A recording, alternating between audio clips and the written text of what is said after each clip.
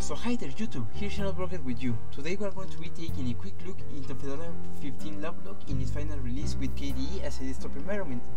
Um, we do not have a lot of things to talk in, about this release because uh, we have already covered all the cool features in the uh, alpha and beta stages of the of the distribution but well we have here some some things to, to talk about um, to be honest, the most exciting feature for me is the btrfs complete support in the distribution. That's great. Um, sorry. As you can see here, here um, we have, um, well, I have my partitions in btrfs, the root one, the home one, and the boot one is in export because a problem with with the GRUB. But well, uh, you can have uh, complete support of btrfs in your Fedora 15 installation. If you're using the DVD or if you want to use a live CD to install you have to install btrfs progs package to have uh, btrfs support in the live image so well btrfs um, is a cool feature that have gave Fedora 15 Lovelock a lot of performance improvements also systemd um, I noticed that the boot time in Fedora 15 is is minor than in Fedora 14 and also all the operations that have to, to do with the hard drive are, are faster than in ext4 so that's great. We have LibreOffice in its well in its final stable release if I'm if I'm correct sorry um, I'm not quite sure, but we have the uh, 3.3.2 release, so that's great, it's a newer one. we have here Calc, or Writer, Impress, um, Draw, you know, the official LibreOffice tools. Um, in my opinion, LibreOffice is lighter than OpenOffice and boots fast, or well, opens fast, that uh, OpenOffice, sorry, and that's great, a lightweight Offimatic suite for Linux.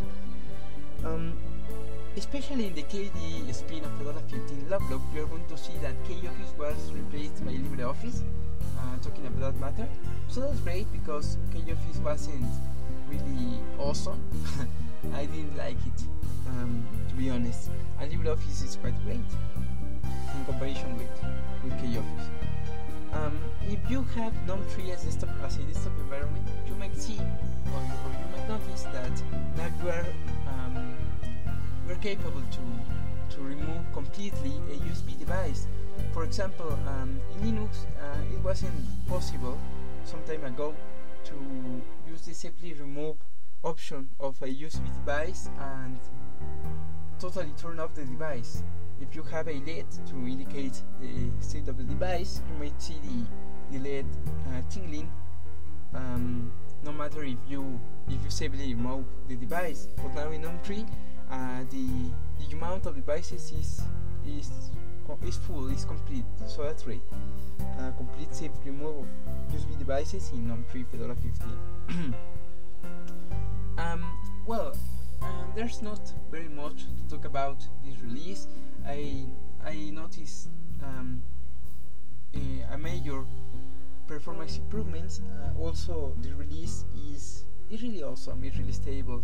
It has the latest packages. It has all the the cool stuff you might need in software. And well, the wallpapers are, are also great. The wallpaper you are, you are watching here is the KDE and other desktops um, official wallpaper and the GNOME one is different but well the wallpapers are great so I love them um, I believe that's that's all about I have to talk uh, this release. But well um, if you have an RPM fusion problem with the with the GPG keys um, you can go and read the Xenode system blog because we have the solution there the final solution or the complete solution um, there. So you can you can add your RPM fusion repositories without any problem um, well we are going to be taking a a really near look into Fedora 15 to to keep you posted about the new features and, and tracking down the problems and all the things you might need in the blog. So well, um, I believe that's all I have to say, and have a good day, night, afternoon, whatever. See you in the next video. Bye.